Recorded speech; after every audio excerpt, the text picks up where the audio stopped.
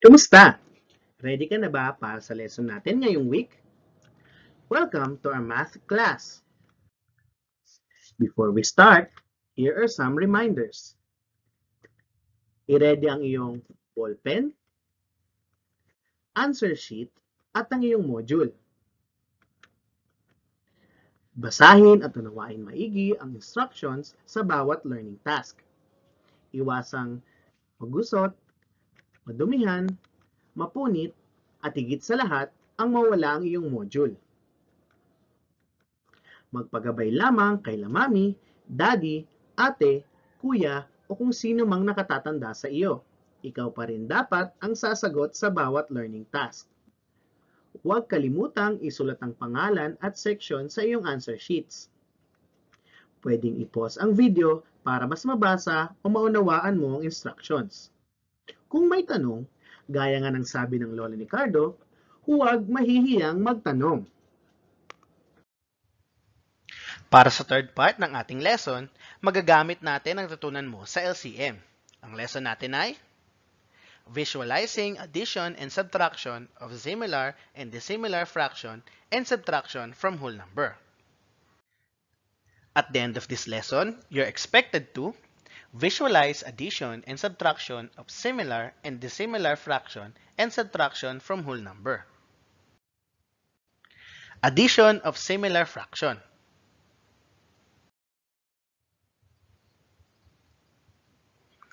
Example, 3 fifths plus 1 fifth.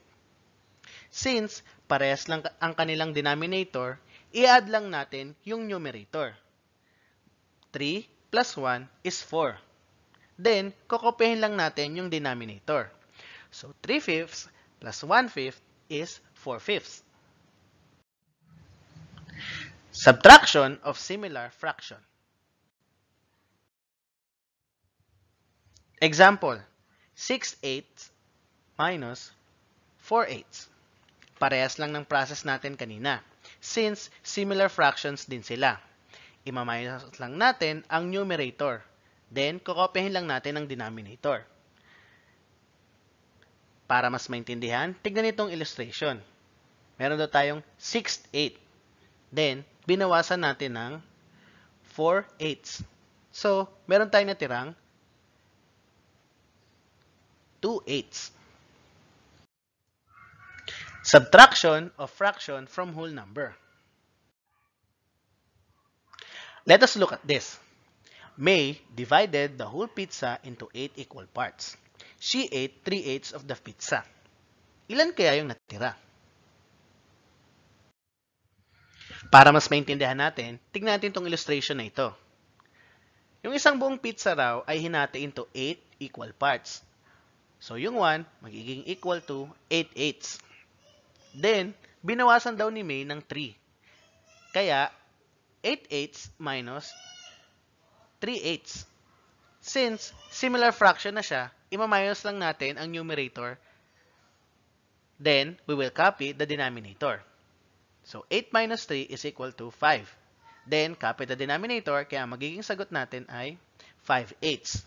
So, 1 minus 3 eighths is equal to 5 eighths. Subtraction of dissimilar fraction. Dito natin magagamit ang natutunan natin sa LCM. 5 6 minus 1 third. Una, hahanapin mo natin yung LCM nila. Ang LCM ng 6 and 3. LCM nila ay 6. Sa fraction, ang tawag dito ay LCD or least common denominator. Then, i-divide lang natin ang LCD sa denominator at i-multiply sa numerator. Ang LCD na rin ang magiging bagong denominator. So, 6 divided by 6 is 1. Then, multiply natin sa numerator, kaya ang sagot natin ay 5 sixths.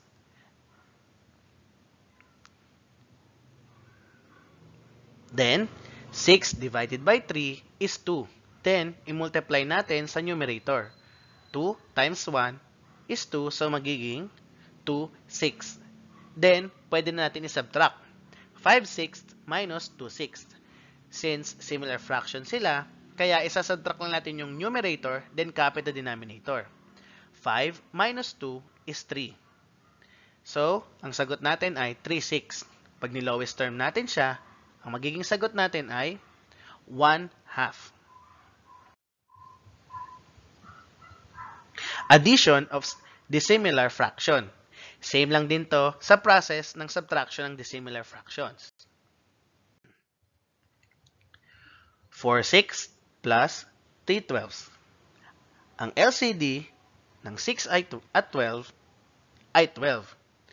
I-divide lang ulit natin ang LCD sa denominator tapos imumultiply sa numerator. Ang magiging bagong denominator natin ay 12. So 12 divided by 6 is 2. Tapos multiply natin sa 4, kaya magiging sagot ay 8. 8 12. Then, 12 divided by 12 is 1. Multiplied by 3 is 3. Kaya magiging sagot ay 3 12. Then, add lang ulit natin yung numerator, then copy the denominator. 8 plus 3 is 11. Then, copy the denominator, kaya magiging sagot natin ay 11 12.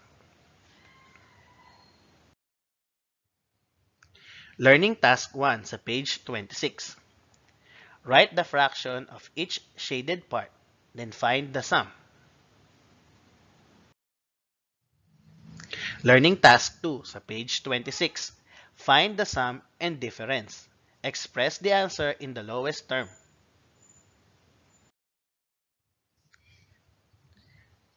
Learning Task 3 sa page 26. Find the sum and difference.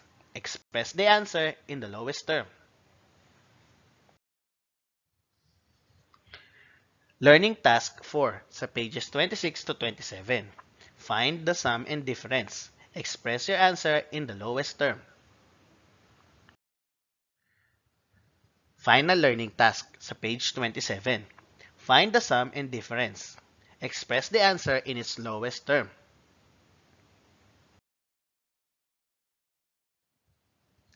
Sana ay naunawaan mo ang lessons natin. See you next week!